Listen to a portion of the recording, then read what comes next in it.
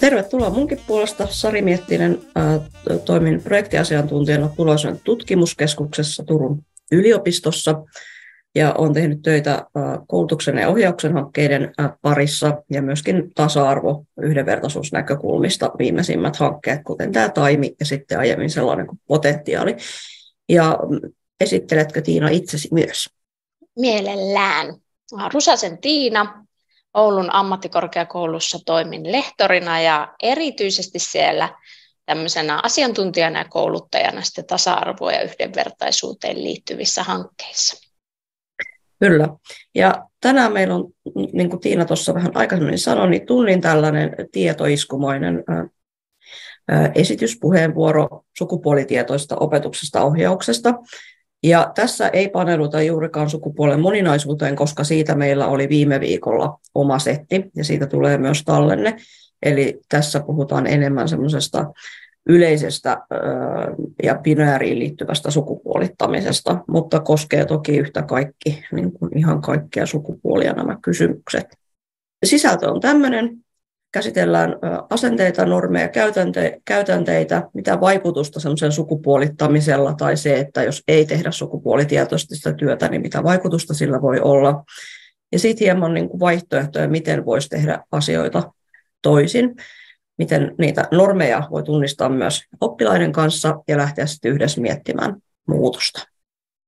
Alkuun tällainen huomio nostettiin perusopetuksen, lukion ja ammatillisen koulutuksen suunnitelmista, tämä, että miten, miten siellä myös tuodaan esiin nykyään se, että opetuksen tulisi olla sukupuolitietoista ja sen pitäisi pyrkiä purkamaan semmoisia ahtaita roolimalleja tai stereotypioita, jotta niin kuin jokainen oppilas voisi tehdä niitä valintoja ja, ja tota, opiskella ihan niiden omien niin kuin, mielenkiinnon kohteiden tarpeiden mukaan ilman sellaista, että, että tietyn sukupuoleen kuuluvan kuuluisi tehdä tietynlaisia valintoja tai niitä arvotettaisiin jotenkin paremmin. Eli ihan opetussuunnitelmatasolla koulun opetuksen tehtävänä on, on niin kuin purkaa sukupuolistereotypioita ja olla sukupuolitietoista. Muutama sananen sitten ihan näistä asenteista, normeista, käytänteistä. Katsotaan tähän alkuun tämmöinen lyhyt video, Tämä on tota, muutaman vuoden vanha jo BBCin tekemä, tekemä tota, video. No niin, eli tässä oli tämmöinen lyhyt pätkä siitä, että et, tota, miten tämä miten tämmöinen stereotyyppinen ajattelu tai toiminta, niin se on hirveän syvälle ehkä juurtunut meihin ja monikaan ehkä tunnista toimivansa jollakin tavalla olettaen sukupuolta tai stereotyyppejä tyyppejä niin kuin vahvistavasti koska se on osa meidän kulttuuria, me ollaan itse kasvettu siihen kulttuuriin, ja se vaatii niin kuin ehkä semmoista tietoista havahtumista monesti, jotta, jotta huomaa, että itse asiassa mä toiminkin vaikka sukupuolittavasti tai, tai tota, joihinkin ennakko nojaten, vaikka itsellä olisi sellainen käsitys, että, että totta kai mä toimin samalla tavalla. Ja tämä sama ilmiö, niin Suomessa on tutkittu esimerkiksi varhaiskasvatusta sillä tavalla, että on videoitu varhaiskasvattajien toimintaa, ja siellä on havaittu samaa, että, että vaikka ihmiset itse kokee, että he on toiminut hyvin, niin kuin, että he ei niin kuin kohtele eri tavalla lapsia sukupuolen mukaan, mutta sitten havaitaakin, että esimerkiksi poikia autetaan helpommin tai tytöiltä vaaditaan jotain tiettyjä asioita tai heitä vaikka kehutaan joistain sellaisista asioista, mitä tyypillisesti pidetään niin kuin vaikka naissukupuoleen liitettävinä hyvinä arvoina ja toistepäin. Eli se saattaa olla hyvin tiedostamatonta ja huomaamatonta tämä, tämä toiminta, miten me vahvistetaan tiettyjä stereotypioita. No, ja kaikki oikeastaan aika palautus normeihin. Normithan on asioita, jotka voi olla myös hyviä. Me tarvitaan normeja, jotta me saadaan järjestetty yhteiskuntaa meidän toimintaan. Mutta aina hyvä kysyä, että mitä sillä normilla tehdään, mitä sillä saadaan aikaiseksi silloin, kun jotain normitetaan. Eli ne voi myös rajoittaa ihmisten toimintaa tai ne voi myös kategorisoida ihmistä ja heidän toimintaa sillä tavalla, että, että se niin kuin rajaa yksilön mahdollisuuksia. Meillä on, meillä on kaikilla varmasti jonkinnäköisiä ajatuksia siitä, että mitä meidän yhteiskunnassa pidetään, niin kuin, että millaisia tyttöjen tai poikien kuuluisi olla, tai lasten tai hyvien oppilaiden tai vaikka millainen on niin kuin NS-sopiva maahanmuuttaja, sellainen toivottava, joka, joka sopeutuu ja integroituu yhteiskuntaan. Ja kaikki me tehdään näitä normeja juuri käytöksellä, puheella, oletuksilla, niin sekä niin kuin tuotetaan että ylläpidetään. Ja se on tiedostamatonta usein. Ja jotta sitten voisi toimia toisin, niin pitää ensinkin tietenkin tunnistaa, että, että tapahtuu jotain normittamista. Normit ja, ja käsitykset semmoisesta sopivasta tai toivottavasta käytöksestä tai tavasta vaikka, vaikka tota, toimia, toimia sukupuolessaan, niin nehän muuttuu myös historiallisesti ja ne on myös kulttuurisidonnaisia. Meillä Suomessa ne normit on erilaisia kuin jossain muussa maassa. Tässä kuvituskuvaksi vaan tämmöinen 1800-luvun puolelta ää, tota Franklin Rooseveltista lapsuuden kuva, joka tuo esiin sen, että, että tiettynä aikakautena esimerkiksi ää, pienet lapset puettiin hyvin samalla tavalla, oli ne sitten tyttöjä tai poikia. Eli, eli tässä niin kuin, poikalapsi on puettu hyvinkin niin kuin tyttötyypillisiin vaatteisiin, ja se oli silloin ihan niin kuin, tavallista, eikä sitä ole ihmetelty. Samoin tietty esimerkiksi väreihin liittyvät asiat, niin, niin pinkki ei tosiaankaan ole aina ollut tyttöjen väri tai, tai sininen poikien, mutta me helposti unohdetaan myös tämmöiset asiat, että normit on myös joskus, tois, joskus aikaisemmin on voineet olla toista. No sukupuoleen liittyviä normeja. Esimerkiksi miltä kuuluisi näyttää, miten käyttäytyä. Ja tätähän, tämän vartiointihan tapahtuu koulussa hyvin paljon. Eli, eli tota, nuoret, nuoret pyrkii erottautumaan tai pyrkii niin kuin myöskin liittämään itsensä tiettyihin ryhmiin. Ja sukupuoli on yksi sellaisesta, kun etsitään omaa sukupuoli-identiteettiä ja kokemusta siitä, että millainen tyttö, poika tai muu sukupuolinen mä olen niin, niin tota, sitä tehdään paljon juuri vaatteiden ja käytöksen ja sopivien kiinnostuksen kohteiden kautta.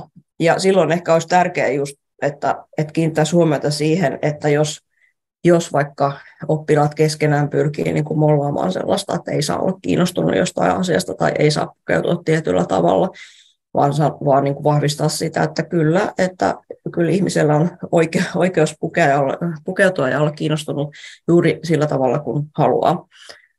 Mutta myöskin sitten, sitten tota, vaikka ei mennä seksuaalisuuteen tässä koulutuksessa muuten, mutta se sukupuoleen liittyy myös se normi, että keihin oletetaan, että saa olla ihastunut, rakastunut, kenestä saa tykätä ja millä tavalla, ja minkä, minkälainen seksuaalisuuden toteutus on niin kuin so, sopivaa tai toivottavaa tai odotettua. Ja se liittyy myös ihan sillä että, että poikien tyttöihin liittyy erityyppisiä normeja ja ajatuksia tästä. Tässä kuvaksi taas Harry Styles, joka, joka pari vuotta sitten herätti, herätti jonkinnäköisesti paljonkin keskustelua ja mediahuomioita siitä, että hän oli Vogue-lehdessä pukeutunut hameisiin ja muihin niin kuin naistyypillisiin vaatteisiin. Ja ja siinä oli sitten kova keskustelu, että mitä tämä tarkoittaa ja, ja miksi näin. Mutta esimerkiksi mun mielestä Harry Styles tuo esiin sen, että, että normeja ja rajoja voi, voi niin kuin venyttää ja niitä voi asettaa uudella tavalla. Ja on tärkeää, että on myös sellaisia esikuvia nuorille, jotka sitä tekee. Sitten, mitä tämä, että on tällaisia normeja ja stereotypioita ja sitten niitä ehkä myöskin vahditaan ja ylläpidetään etenkin koulussa, niin mitä, minkälaisia vaikutuksia sillä sitten on. Ensinnäkin, että se, että ne sukupuoleen liittyvät normit on tiukkoja, että on tiukka käsitys siitä, että millaista on olla, olla oikealla tavalla tyttö tai poika, niin ne vähentää kaikkien toimintamahdollisuuksia ja, ja sitä, sitä kenttää, että miten itsensä saa ilmaista tai millä tavalla saa toimia. Ei vaan esimerkiksi sukupuolivähemmistöihin kuuluvien mahdollisuuksiin, vaan ihan kaikkien. Ja myöskin se, että jos, jos tota, on vahva sukupuolinormi sillä tavalla, että ajatellaan, että on vain miehiä ja naisia ja, ja, tota, ja näihin pitää jotenkin pystyä solahtamaan näihin kategorioihin ja tiukasti vartioida niiden rajoja, niin se jättää myös ulkopuolelle muun sukupuoliset, transsukupuoliset ää, nuoret ja henkilöt. Sen lisäksi, että ne kategoriat myöskin tiukentaa sitä sitä niin käsitystä, että mitä sen sisällä saa olla, että millainen tyttö ja poika saa olla. Ja, ja tota, kun me puhutaan koulusta, niin mitä tiukemmat sukupuolinormit, niin kyllä se sit vaikuttaa myös siihen, minkälaisia aine- ja koulutusvalintoja esimerkiksi tehdään. Et, että onko, onko tavallaan kysymys siitä, että jokainen saa vapaasti valita mitä vaan, niin saako, vai liittyykö siihen sosiaalista tämmöistä niin kuin sääntelyä, onko hyväksytä, hyväksy, hyväksyttävämpää valita tietynlaisia asioita, ja mitä seuraa siitä, jos valitsee vaikka sukupuolelleen epätyypillisiä asioita, miten siihen suhtaudutaan sekä opettajien että oppilaiden toimesta. Ja se normien ylläpitomiseen liittyy myös se, että kun niitä vartioidaan, niin usein, jos joku niitä lähtee venyttää tai rikkoo, niin siitä voi seurata just se niin kuin kiusaamista, väkivaltaa, ulossulkemista tai, tai just semmoista niin kuin hienovaraisempaakin, niin kuin, että osoitetaan, että tämä ei nyt ollut oikein hyvä valinta tai, tai, tai niin kuin, että et pääse meidän jengiin, koska näin on, olet niin kuin tuollainen tai kiinnostunut näistä asioista. Eli miten puuttua siihen, miten opettaja voisi sitten ää, olla herkkänä näille ilmiöille ja myöskin niin kuin puuttua siihen, että et, tota, et on ok olla kiinnostunut erilaisista asioista ja ilmentää sitä sukupuoltaan eri tavoin. Ja nämä kaikki kytkeytyy tietty hyvinvointiin, siihen, että kokeeko kuuluvansa vaikka opiskelijayhteisöön tai omaan luokkaansa. Et jos on hirveän tiukat käsitykset siitä, että millä lailla siellä saa olla, niin, niin, tota, niin se kyllä varmasti lisää kaikkien pahoinvointia. Tässä myös kuva siitä, että, että miten normit vaikuttaa. Meillä on paljon puhetta ammattialojen segregoitumisesta ja siitä, että, että myöskin niin kuin sillä on vaikutus taas palkkaukseen, sillä on vaikutus monenlaisiin asioihin meidän, meidän tota, elämässä. Ja se ei välttämättä ehkä tule nuorelle niin selkeästi esiin, että ehkä näistäkin olisi hyvä puhua, että miten, miten ne tota, valinnat ja normit niin vaikuttaa sitten pidemmälti elämään. Ja myöskin se, että tässäkin kuvassa niin on tämmöinen tiukka, että pojat ja tytöt ja, ja näin menisi tämmöinen normipolku, niin keitä se jättää myöskin ulkopuolelle nämä tämmöiset niin kuin ajatukset siitä, että millaista on vaikka poikien koulumenestys tai, tai tavoiteltava urakehitys tai, tai tota, alat, joihin toivotaan kouluttautuvan. Eli, eli se ei jätä tilaa poikien ja tyttöjen kategorioiden sisäiselle liikkuvuudelle, eikä sitten ihmisille, jotka ei siihen mahdu. Tämmöinen pakollinen segregaatiodia, eli sitten kun, kun mietitään, että se normien tuottaminen ja ylläpitäminen alkaa jo sieltä, niin kuin tuossa videossakin oli sieltä ihan taapero-iästä, niin lopputulos sitten ää, näkyy esimerkiksi näin. Eli meilläkin Suomessa on, ei ole juurikaan niin kuin 30-40 vuoteen tapahtunut muutosta siinä, että minkälaisia ammattialoja lähdetään opiskelemaan, millä aloilla toimitaan. Ja se, että tämä on näin sukupuolittunut, Suomi on yksi Euroopan sukupuolittumista maista tässä asiassa, niin, niin se on sitten sekä yksilöiden että yhteiskunnan kannalta niin kuin voi olla ongelmallista. Yksilöt ei pääse ehkä toteuttamaan itseään niillä aloilla, joihin heillä olisi osaamista ja ominaisuuksia, koska koetaan, että niitä aloja ei ehkä haluta valita oman sukupuolen takia.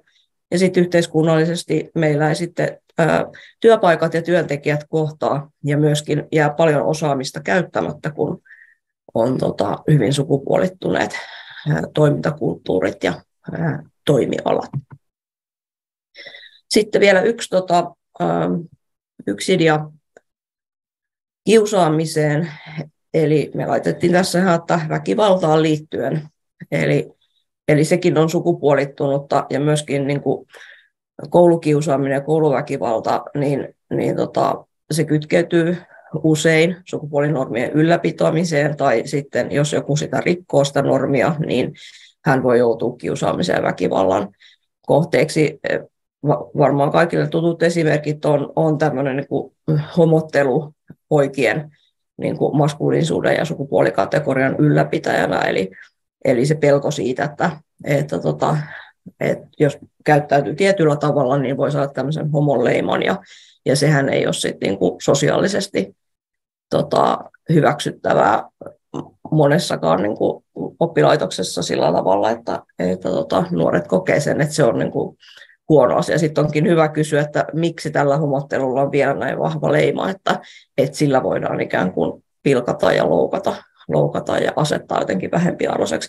Ja sitten taas tyttöihin kohdistuu seksuaalista häirintää ja seksuaalisuuteen liittyvää niin kuin normittamista ja vartioimista ja, olit niin tai näin, niin aina jotenkin väärinpäin, että, että tota, helposti myös tämmöistä niin kuin huorittelua käytetään aseena ja, ja se, että, että millä tavalla tyttö saa olla sitten vaikka seksuaalisesti aktiivinen tai, tai pukeutua, niin, niin sillä vartioidaan myös sitä normistoa. Sitten tämmöinen, niin kuin, jos ajatellaan tässä esimerkissä, esimerkissä, mikä on tämmöisestä Ylen, Ylen uutisesta, missä kysyttiin niin kuin nuorilta, että miten nämä normit näkyy heillä ja mi- miten niin kuin, just vaikka jos normia rikkoo, niin mitä siitä seuraa, niin kyllähän tässä, jos katsotaan näitä lainauksia, niin voi ajatella, että tässä on niin tämmöistä sukupuolittunutta ja henkistä väkivaltaa on tässä kyseessä.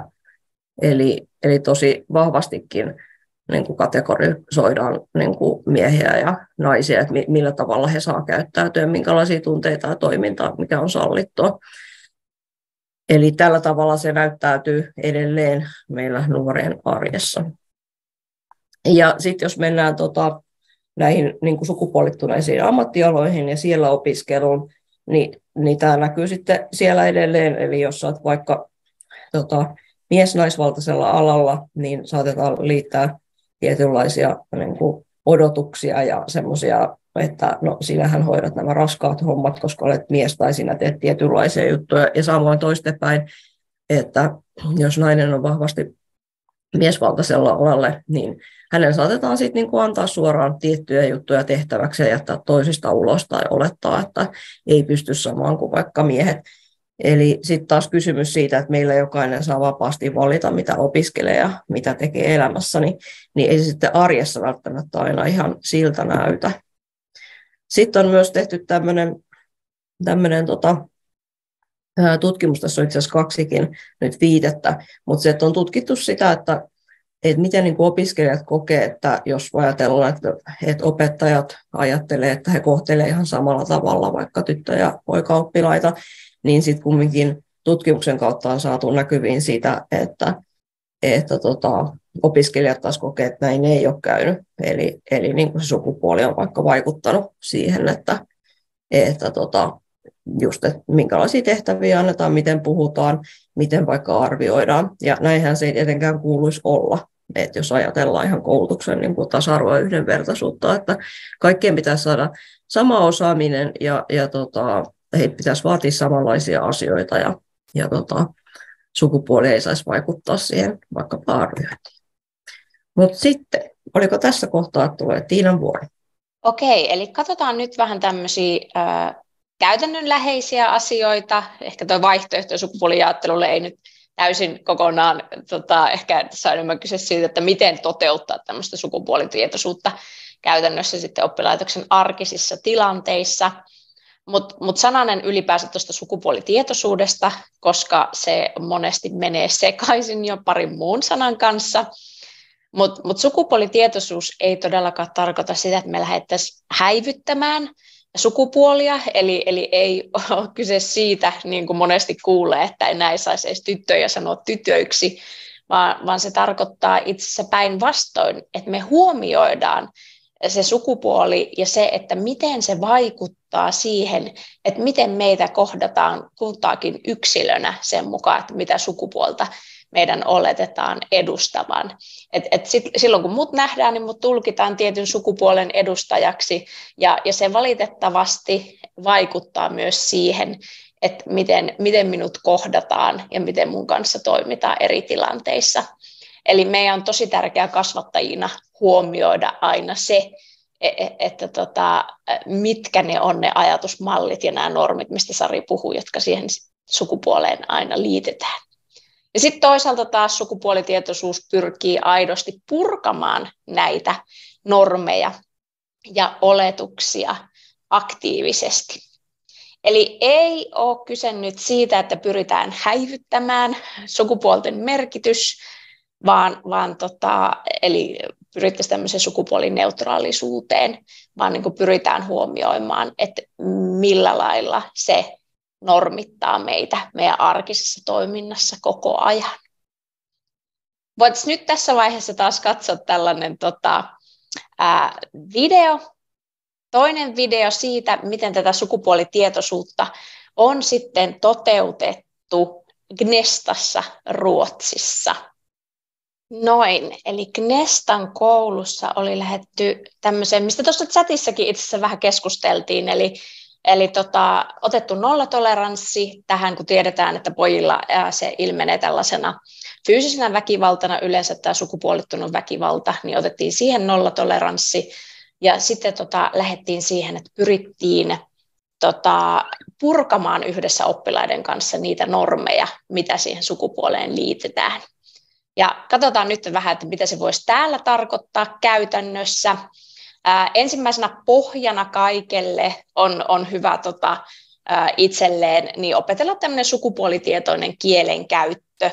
Eli ylipäänsä tuoda sukupuoli esiin vaan, jos se on merkityksellinen käsiteltävän asian kannalta. Eli, eli tota, tällaiset klassiset, että tytötellään, pojitellaan, ää, niin kannattaa opetella omassa kielenkäytössään muuttamaan ja puhumaan vaikka äidien isien sijasta huoltajista ja vanhemmista.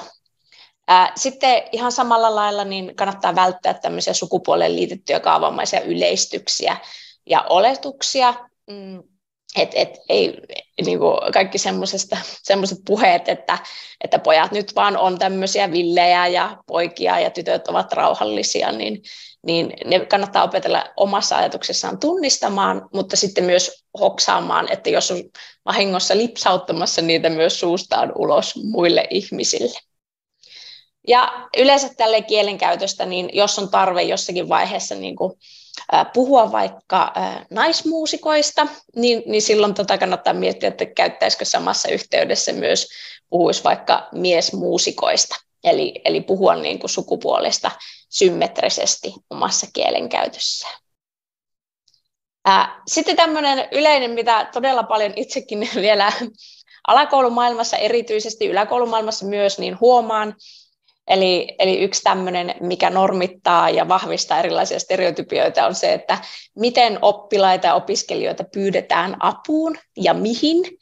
Ja tota, tyypillisiä esimerkkejä näistä on se, jota Sarillakin oli ihan viimeaikaisia kokemuksia tästä, että, että kukaan niin kuin, vahvoista pojista tulisi auttamaan näiden tuolien kantamisessa ja sitten toisaalta taas saatetaan pyytää ikään kuin tyttöjä asettamaan semmoisen roolin, jossa heidän tarkoituksensa on, on rauhoittaa sitten näitä villejä poikia.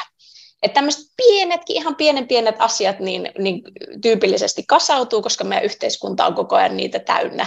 Ja sitten se vaikuttaa siihen, että, että minkälaisia käsityksiä me myös itsestämme sisäistetään sitten lopulta. No tutkimusten ja selvitysten mukaan niin suomalaisetkin oppimateriaalit on valitettava sukupuolittuneita ja stereotyyppisiä. Ja just sen suhteen, että millaisia feminiiniset ja maskuliiniset hahmot niissä on ja mitä he kirjoissa tekevät. Et tyypillisiä esimerkkejä on esimerkiksi se, että historian kirjoissa kerrotaan enemmän tämmöisiä miehisiä urotekoja ja historiaa kerrotaan niin miesten kautta sen sijaan, että pohdittaisiin myös, että miten muut sukupuolet sitten nämä tota, tapahtumat ovat kokeneet ja mitä he ovat missäkin tehneet. Ja tässä esimerkiksi näkyy tällainen tota, kuulla alkavia unelmia taikamaan aapise, aapisessa tota, oleva kuvituskuva, jossa näkyy kuinka poika oletetut tota, haaveilevat kalastamisesta ja pyöräilemisestä ja tota, urheiluautoista, kun taas sitten tämmöiset tyttö- ja naisoletetut haaveilevat uuneista ja tota, tossuista. Eli myös tällaisia tota, esimerkkejä valitettavasti oppimateriaalit on täynnä ja, ja toivoisin tosi kovasti, että voisi nyt vinkata, että joku kirjasarja on ehdottomasti toisia parempi, mutta, mutta tota, ei ole sellaisia selvityksiä, missä näitä niin kuin selkeästi löytyy, että jos joku kuulijoista on tietoa jostakin kirjasarjasta, joka on todella hyvä tässä näkökulmassa, niin saa ehdottomasti vinkata tuonne chattiin. Mutta koska oppimateriaalit on tämmöisiä sukupuolittuneita ja stereotypioita vahvistavia, niin kannattaa aina pitää se mielessä silloin, kun tekee omaa opetusmateriaalia tai etsii oppikirjan ulkopuolista materiaalia käyttäväksi opetuksessa, tai pyytää oppilaitokseen jonkun puhumaan tai käy jossain vierailulla opiskelijoiden kanssa. Eli aina kannattaa miettiä, että miten voisi tuoda vastapainoa sille oppimateriaalien sukupuolinormeille. Esimerkiksi eilen keskustelin tota, erään opon kanssa, joka oli ratkaissut tätä asiaa sillä lailla, että, että kun heillä on semmoinen systeemi, missä he pyytää koululle vierailemaan ihmisiä kertomaan ammateistaan, semmoinen niin kuin ikään kuin ihmiskirjasto, henkinen ratkaisu, niin hän oli sinne laittanut sähköpostia etukäteen ja sanonut, että hän toivoisi erityisesti nyt, että saada sellaisia ihmisiä esittelemään omaa ammattiaan, jotka on jollakin lailla valinneet omalle sukupuolelleen epätyypillisen ammatin. Ja hän sanoi, että hän oli tosi ilahtunut, että hän on saanut sitä kautta, kun hän on erikseen sen aina hoksannut pyytää, niin, niin sitten saanut, saanut tota, vaikka naissaajia kertomaan omasta työstään. Niin niillä on iso vaikutus sille sitten, että, että tota, kun me saadaan semmoisia käytännön esimerkkejä ja nähdään eläviä ihmisiä, jotka on sitten toiminut niin tällaisten sukupuolinormien vastaisesti. No sitten tässä on tämmöinen Twitteristä valitettava esimerkki siitä, kun mietitään valinnaisaineita, ja, ja sitten tota, nekin on monesti aika sukupuolittuneita, ne ratkaisut, mitä niissä tehdään, niin tota, tämmöinen, missä tota, apulaisrehtori oli suositellut, suositellut eräälle oppilaalle valinnaisaineeksi kurssia helpot välipalat, koska toiseen kiinnostava vaihtoehto eli koodaus oli tulossa vain poikia. Eli oli tehty sen oppilaan puolesta ikään niin kuin tämmöinen tota, mm, päätelmä, että häntä ei varmaan kiinnostaisi sitten oikeasti osallistua sen koodaukseen, koska hän joutuisi olemaan siellä ainoana tyttönä. Eli on aina ho- hyvä niin kuin hoksata myös sitä miettiä, että, että olettaako sukupuolen perusteella, mistä nuori on kiinnostunut tai mitä hän osaa, ja, ja sitten miettiä sitä, että miten häntä, häntä tota, sen suhteen ohjaa, että parempi on tietenkin niin kuin aina tukea häntä näissä eri innostuksissa, ja varsinkin, jos hän jollain tavalla ilmaisee vähän semmoista eh, sukupuolelle ns. epätyypillistä kiinnostusta, koska, koska tota, silloin hän on niin kuin rohkeasti toiminut jo normien mukaan, niin hän tarvitsee todennäköisesti enemmänkin kannustusta kuin sitä, että epäillään hänen puolestaan, että viihtyisikö hän siellä oikeasti. Erilaisten sukupuolijaotteluiden välttely kaikessa opetuksessa ylipäänsä on, on aina hyvä idea, että tämmöiset tyttöpoikajaottelut on hyvin harvoin tarpeellisia tai perusteltuja. Sukupuolivähemmistöä edustaville oppilaille ne on tosi stressaavia tilanteita, mutta toisaalta ne myös sitten vahvistaa sukupuolinormeja ja sitä, että miten meidän kannattaisi niin kuin, toimia missäkin tilanteissa. Et esimerkiksi liikunnan opetus on sellainen, mikä monesti yläkouluissa jaetaan tytöjen poikien kesken ja sitä perustellaan sillä, että pojat on liian villejä, poikien pelit on liian villejä ja tytöt pelkää siellä palloa ja jännittää.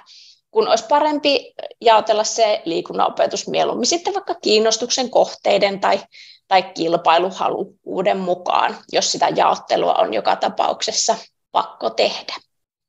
Sitten terveystiedossa myös niin on tärkeää, että kaikki oppilaat saa yhtä lailla yhtäläiset tiedot kaikkien sukupuolien seksuaaliterveydestä ja ihmisen biologiasta, että ei ole niin kuin järkevää se, että vaikka poika oletetut, niin ei, eivät saa kuukautisista ajankohtaista tietoa. Ja näistä mainitsinkin tämmöiset tota, tyttö-poika-parit tai tyttöjen istuttaminen poikien väliin semmoisena niin sanallistettuna rauhoittumiskeinona. Ja vaikka sitä ei edes sanallistaisi ääneen, niin kyllä oppilaat sen huomaa aika nopeasti, niin luo tarpeetonta vastakkainasettelua eri sukupuolen välille, että se on rangaistu sulle, että toista sukupuolta edustava henkilö tulee sun viereen istumaan, ja, ja sitten toisaalta taas vahvistaa sitä normia, että tytöt on semmoisia rauhoittelijoita. Ää, ryhmätyöskentelyjen näkökulmasta tämä liittyy myös siihen, niin, niin sitten itse suosittelisin, kun alakoulun puolellakin olen työskennellyt, niin huomannut, että jos oppilaat saa päättää itse parit ja ryhmät, niin herkästi siinä käy silleen, että koska se on siinä ikävaiheessa niin vahva identiteetin työkalu, se sukupuoli, johon ollaan kiinnittyneitä, niin tota, kannustaisin siihen, että mieluummin opettaja jakaa ryhmät ja parit, ja mieluummin vaikka sattumaa hyödyntäen, että se on niin tärkeää, että kaikki oppii toimimaan toistensa kanssa heti alusta lähtien. Ja voi olla sillä lailla, että ryhmätöissä niin käy herkästi sille, että joku tietty sukupuoli on tyypillisesti vastuussa niistä ryhmätöiden teossa joko vaikka kirjaamisesta tai postereiden ulkonäöstä, että siitä tulee hieno koristelu, tai sitten ylipäänsä siitä rauha- ja työskentely ylläpidosta, niin näissä on niin hyvä huomioida se, että, että sehän vahvistuu, ne osaamiset vahvistuu, mitä harjoitellaan. Ja jos aina käy sille, että ryhmätyöskentelyssä jotkut tietyt henkilöt, sanotaan vaikka tytöt olisi vastuussa kirjaamisesta, niin siinä käy sillä lailla, että myös heidän taitonsa asiassa vahvistuvat, ja poikien taas taidot ei pääse vahvistumaan. Eli parempi on luoda ryhmille tämmöiset selkeät sisäiset roolit, jotka itse jaat ja jotka jaetaan lennosta ja jotka sitten vaihteluu, vaihtelee. Ja mieluummin kuin silleen, että tehdään näin, että tytöt on nyt puheenjohtajia, niin käyttää tämmöisiä juttuja kuin vaikka se on kirjuri, jonka syntymäpäivä on lähimpänä. Eli ne on silloin oppilaillekin tämmöisiä ikään kuin sattumanvaraisina näyttäytyy. No sitten on itse huomannut tosi paljon, että tulee sitten erityisesti nuoremmilta lapsilta niin tämmöistä vastustusta tämmöisiin asioihin, että, että sitten saattaa sanoa, että no ei, toi voi olla kirjuri, että sillä on niin surkea käsiala, että mieluummin joku tytöistä, koska vahvanahan nämä tämmöiset erilaiset sukupuolinormit on myös oppilaissa itsessään. Niin silloin opettajan tehtävä on tietenkin aina niin kuin pysäyttää se hetki ja tota, perustella ne valinnat ja kertoa, että kaikkien tehtävänä on harjoitella erilaisia osaamisia ja erilaisia taitoja.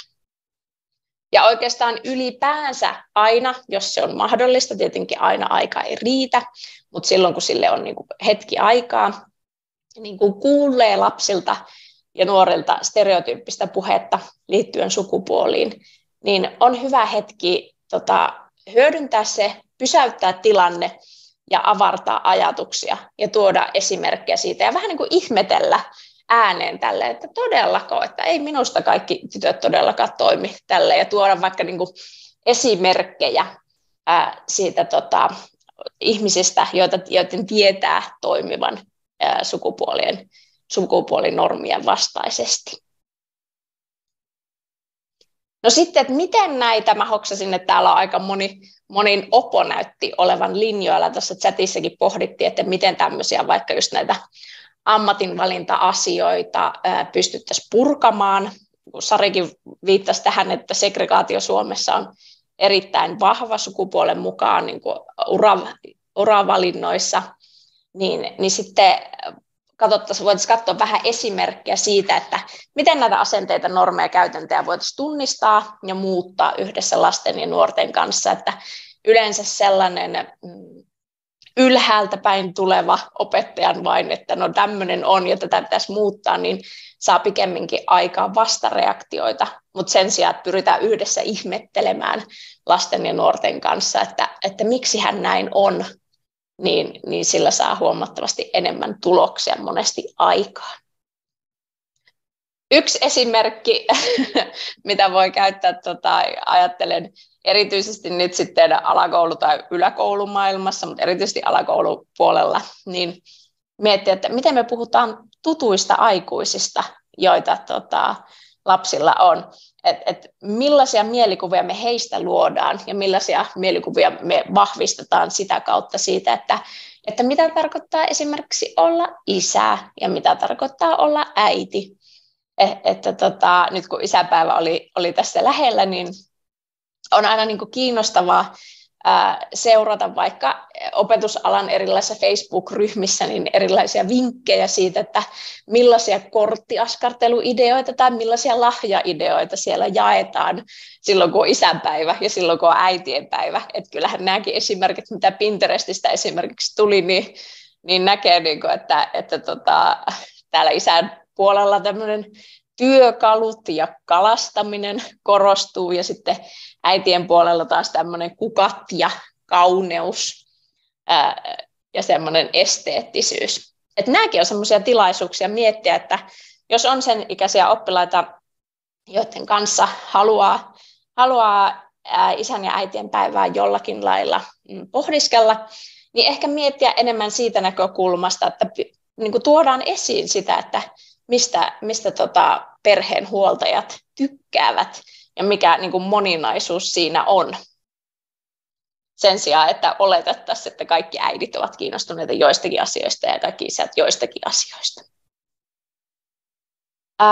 Sitten on tosi hyvä tuoda esiin esimerkkejä siitä, että miten eri sukupuolien roolit on eri aikoina muuttuneet tai miten ne on kulttuurisesti erilaisia eri paikoissa. Tämä on niin kuin aina hyvä hoksautus ja vähän niin kuin se Sari näytti aiemmin sitä Rooseveltin lapsuuden ajan kuvaa, niin itse olen myös käyttänyt lasten kanssa todella paljon semmoisia hoksautuskuvia ja vähän niin kuin sillä lailla aina, aina pyrkinyt sitten avartamaan sitä heidän ajatustaan, että, että sellainen historiaton ajatus, että kaikki, koska tällä, tällä hetkellä asiat on näin, niin tota, ei voi olla muuten, niin, niin tota, sille on hyvä vastapainoa se, että mietitään vaikka just sitä, että ennen miehet oli poik- niin opettajia, nykyään enemmän naisia, ja tämä on erityisesti tämä koodari-esimerkki, Hän on, on niin todella kiinnostava, että ensimmäiset koodarit on olleet naisia, että tuoda esimerkkejä sieltä,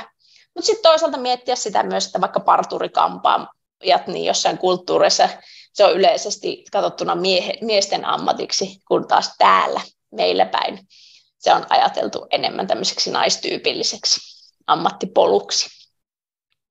Me tähän näin ollaan, niin kuin Sari sanoi, niin mäkin olen tuossa potentiaalihankkeessa työskennellyt, niin siinä on kehitelty oppituntimateriaaleja juuri tähän tarkoitukseen. Ja eilenkin olen kuullut tota paljon ylistäviä kommentteja opoilta siitä, että kun he on hyödyntänyt sitä oppituntimateriaalia, siellä on siis valmiina semmoisia, että miten voit käsitellä segregaatiota ja näitä sukupuolinormia oppilaiden kanssa, niin on kuulemma toiminut todella hyvin, kun sitä on tehnyt eri ikäisten kanssa.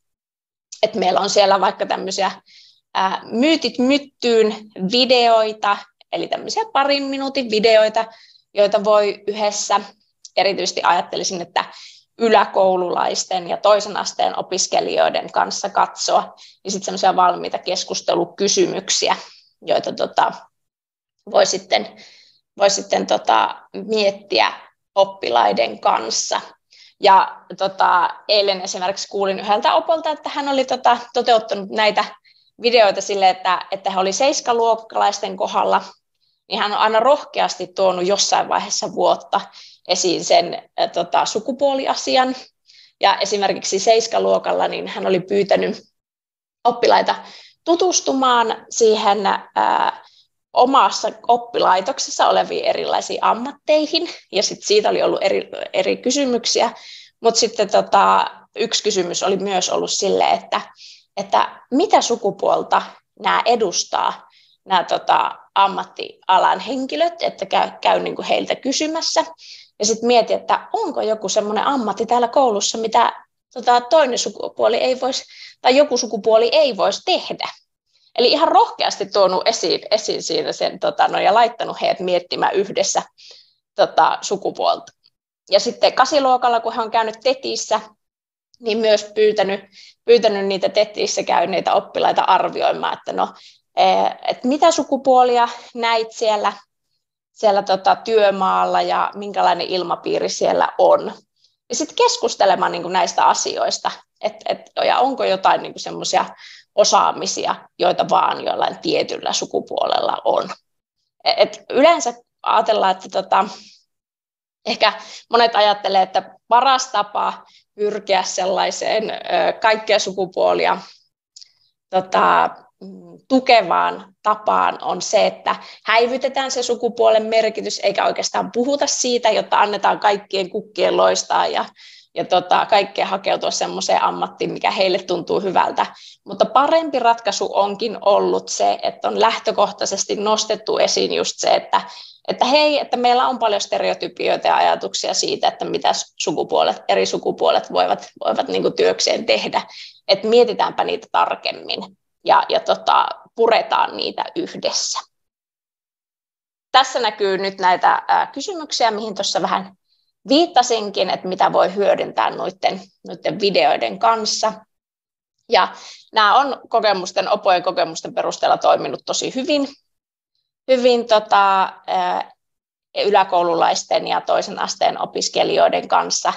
Eli on mietitty sitä, miten sukupuoli on vaikuttanut tai vaikuttaa ammatin valintaan ja millaisia stereotyyppisiä käsityksiä siihen liittyy. Ja, ja, tota, ja sitten pohdittu sitä, että ylipäänsä, että voidaanko me kaikki vapaasti valita meidän mielenkiinnon kohteet tai mikä siihen vaikuttaa. Ja, ja tota, että jos joku menisi vaikka tota, valitsemaan sukupuolelleen epätyypillisen ammatin, niin, niin minkälaista, tai hakeutumaan jonnekin, niin minkälaista tota, kannustusta tai päinvastoin vastustusta hän saattaisi saada siihen asiaan sitten vaikka kavereiltaan.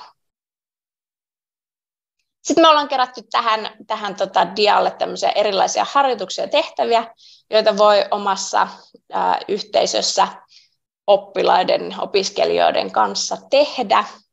Toi, toi normisuunnistus on semmoinen, jossa tota, tutustutaan oppilaitoksen tiloihin, tämmöistä sukupuoliin ja sukupuoleen liittyvistä näkökulmista ja muistakin normeihin liittyvistä näkökulmista. Mutta sitten myös toi oppimateriaalin tarkastelu sukupuolin näkökulmasta niin omien kollegoiden kanssa kuin sitten opiskelijoiden kanssa on, on niin tosi hedelmällistä, että erityisesti ajattelisin, että äidinkielen opetuksessa niin on, on niin hyvä opettaa, sehän on osa sitä medialukutaitoa, että aletaan tarkastelemaan erilaisia materiaaleja siitä näkökulmasta, että miten sukupuolet niissä näkyy. Niin tota, olen itse huomannut sen, että mitä enemmän sitä semmoista normien tarkastelua ääneen tekee, pientenkin oppilaiden kanssa, niin hekin alkaa sitten hoksaamaan, että hei, että täällä oli taas tällainen näin esimerkki. Että sitten ei tarvitse enää, kun itse luo sille vahvaa pohjaa, niin sitten sitä ei tarvitse enää itse pitää mielessä, koska kyllä ne lapset ja nuoret sen helposti nykyään pitää.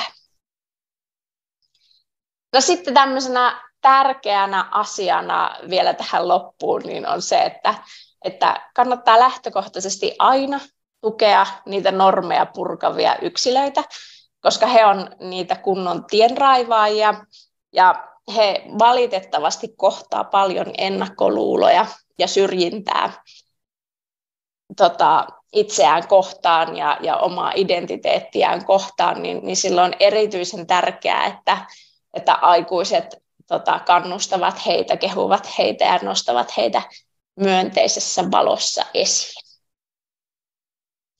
Mutta tässä oli nämä. Täältä lopusta löytyy nämä lähteet.